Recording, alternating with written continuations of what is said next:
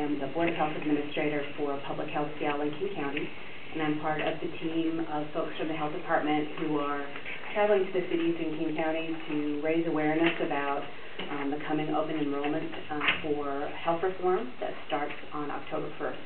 And we hope that um, you'll be willing to help us spread the word among your residents who might be otherwise uninsured and can take advantage either of the expanded Medicaid uh, opportunities or uh, to be able to purchase insurance through the exchange um, at a discount.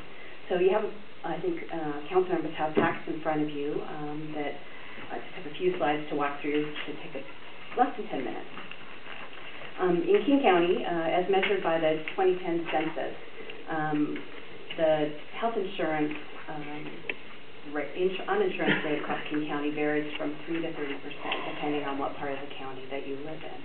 Um, and as you can see on this map, as indicated by the the red and orange colors, those are areas of the county that have a higher level of uninsurance. Um, the blue areas are where there uh, more residents are insured. So I, the next page um, shows um, an anticipated change in that map, um, depending on how people are able to take advantage of the opportunities with health reform to either be eligible for Medicaid or to be able to purchase affordable care for themselves.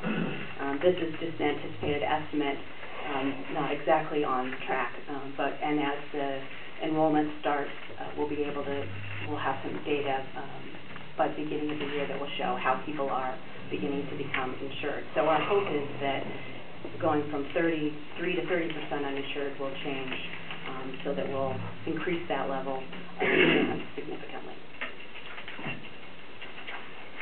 And just to remind you um, of who is left uninsured after the Affordable Care Act is implemented, undocumented immigrants are not eligible for either expanded um, Medicaid or for ability to purchase through the exchange. Um, there are certain religious groups and Native American tribes um, and incarcerated folks who also are not eligible. Um, there are people who may choose not to enroll, um, facing the penalty that there is for a lack of enrollment. Um, and then uh, the immigrants who are here legally um, for at least five years um, are eligible for Medicaid, and um, they're also eligible for the exchange.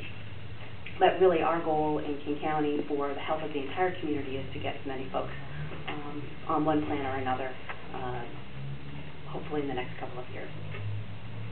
Uh, the way that we're approaching this um, is that uh, Washington State has chosen to expand Medicaid coverage um, so that folks who are um, up to 138% of the federal poverty level will be eligible for no-cost uh, coverage through the Medicaid program. And then for folks who are 139% to 400% of the federal poverty level, they're eligible to buy coverage through uh, the Washington Health Benefits Exchange. Um, here that's called the Washington Health Plan Finder. Um, and that will allow folks to have um, subsidized premiums kind of on a sliding scale based on their family size and incomes. And so hopefully that will make um, monthly premiums affordable for a lot of folks.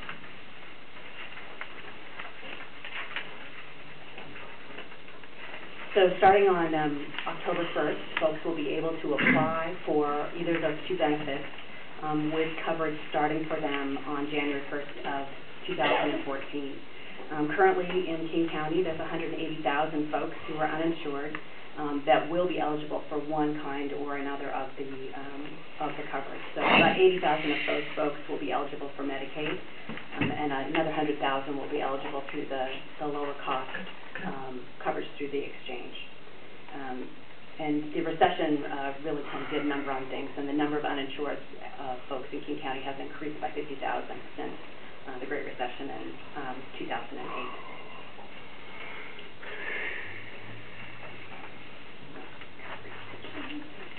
So you may have started to see uh, advertising, news media, both um, print media and radio ads. Um, the campaign here in, in Washington State is coverage is here, and so King County has kind of kicked out its coverage is here, King County, so you'll see, see things with this brand on it.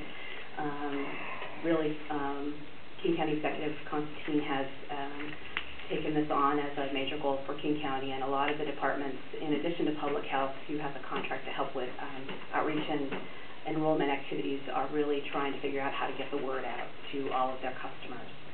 Um, For the uninsured, uh, we're really hoping to provide education and really encourage the enrollment through lots of different communication strategies and outreach. Um, and then we'll be doing uh, targeted enrollment assistance to newly eligible at convenient sites all over the county, including some here in Pacific.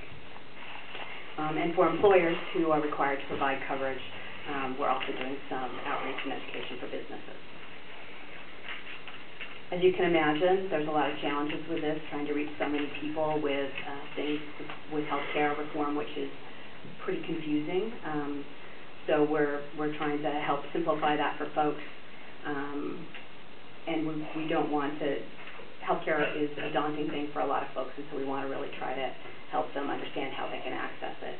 Um, education is not enough, so we want to provide some assistance um, and are doing that through the variety of events that we have across the county to help folks get enrolled. And we know to be successful, we need to work with our communities and with agencies in the communities who are already in touch with the folks who are potentially eligible for either of these two pathways. And so that's another reason why we're here with you um, as, as part of our outreach strategy.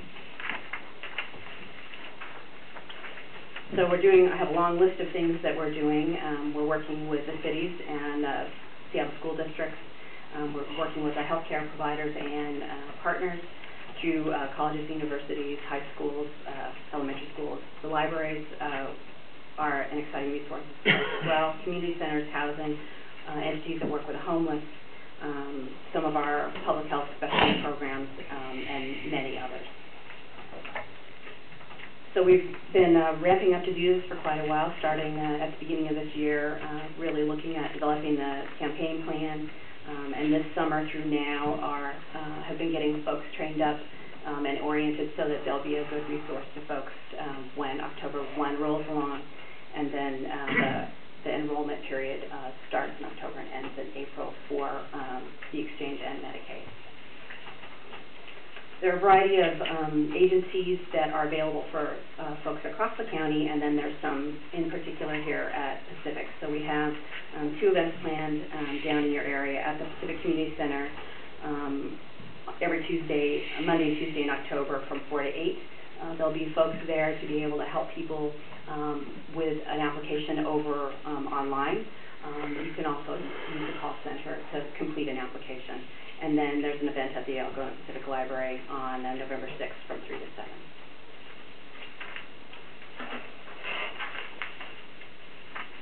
Uh, and just what we ask for you is to um, be champions of this effort with your constituents, um, to promote enrollment events and share information um, through your website, newsletters, and public engagements, and to attend an enrollment event in your city. And I've left um, some papers on the side uh, talking about how you can get involved, and that has both the call center phone number on it and um, we've got a, pretty complete website that has that gets updated frequently with uh, events information um, and to help people uh, understand how to get connected, um, both with our resources here locally and then through the exchange at the state.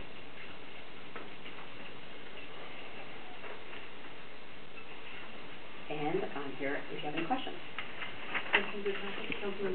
Um, While you're talking about the website, is it accessible or link between uh, King County, um, the main website? Yes, it's a King County backslash covered, so a pretty easy web address to get there. And then that in turn hooks also to resources at Washington State. Other questions from council? I have a question. It says they're qualified for Medicaid. Now, I'm on Medicare. What's the difference in the programs? Um, Medicaid is an entitlement program for low-income adults um, who may or may not have a work history. There's and Medicare is a, is a program that is available for folks who have um, either through a disability or through a work life have have gained um, the ability to have Medicare. So Medicare Medicaid is more of an entitlement program rather than a, an insurance that you're eligible for. Other questions from council? So, Great, well, thank you so much for coming tonight. All right, And thanks for I having would like to ask, um, um, if we could have the police department put this on the reader board when they're gonna be over at the community center, this information, to get it out to the community, that would be great. Thank you so much.